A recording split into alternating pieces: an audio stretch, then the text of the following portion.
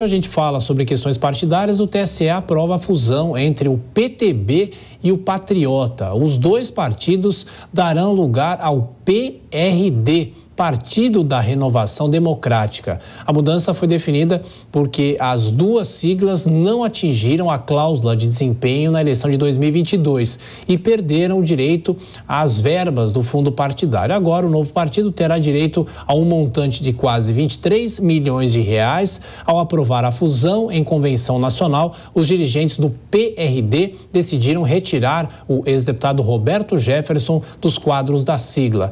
Dora Kramer, é uma tendência tendência que nós tenhamos a partir de agora essas fusões partidárias e no caso do PTB isso chama atenção porque é um partido histórico aqui no Brasil desde o período da redemocratização, mas é um partido mais histórico lá de trás, né, dos tempos ainda dos anos 30 aqui no Brasil.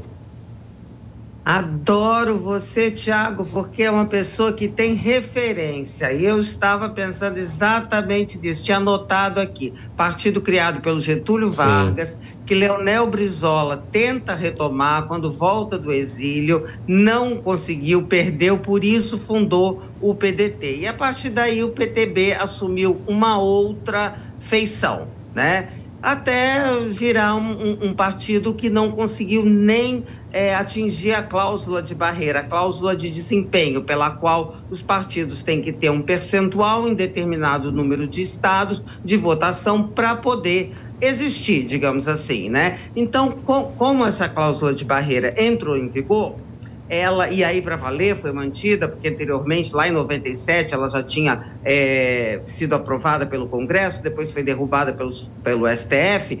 Então, desde que ela entrou em vigor para valer, ela tem uma progressão desse percentual que os partidos têm que atingir. E à medida que não vão atingindo, esses partidos tendem a perder a sua representação, direito a fundo eleitoral, principalmente, ao no horário dito gratuito, e aí eles se fundem. E a tendência com essas fusões é a gente ter uma diminuição de número de partidos. Já tivemos discreta, mas já tivemos. Então, essa é uma tendência. Não vejo que seja o principal. É alguma coisa, porque a multiplicação de partidos realmente é uma coisa ruim. Mas a questão não é um número, né? Vamos ver se eu até esqueci o nome PRBD, não sei o quê. PRD. Não sei. PRD. PRD. A questão é o desempenho, né? Vamos ver, porque o número é importante, mas o desempenho é muito mais importante, o desempenho partidário. Pois é, Kobayashi, como a Dora lembrou, o Brizola tentou retomar o PTB, mas ele perdeu a legenda para Ivete Vargas. Aí ele teve que fundar o PDT. Mas eu pergunto em relação aos partidos no Brasil. A gente tem muito partido e será que eles vão se aglutinando? É uma sobrevivência? É, é muito conhecimento, hein, Tiago?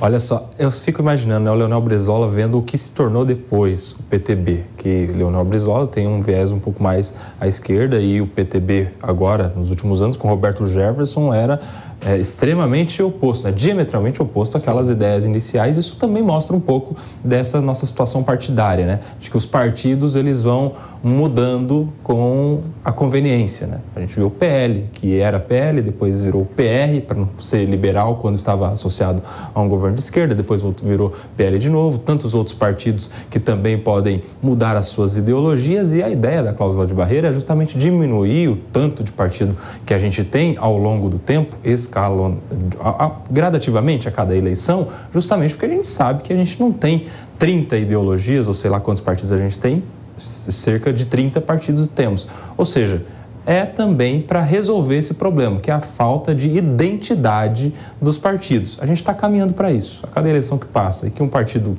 que era grande ou médio não alcança a cláusula de barreira, ele vai sendo obrigado a se fundir com outros e talvez daqui a alguns anos ou décadas, não sei, a gente tenha de fato poucos partidos bem definidos com ideologias claras e que, claro, vai favorecer o debate público e colocar à disposição do cidadão ideias e não nomes, ideias é, bem definidas, mais à direita ou mais à esquerda, mais liberal ou mais progressista ou mais conservadora que seja, mas que seja numa mesa mais clara de transparência para o cidadão, para o eleitor, principalmente.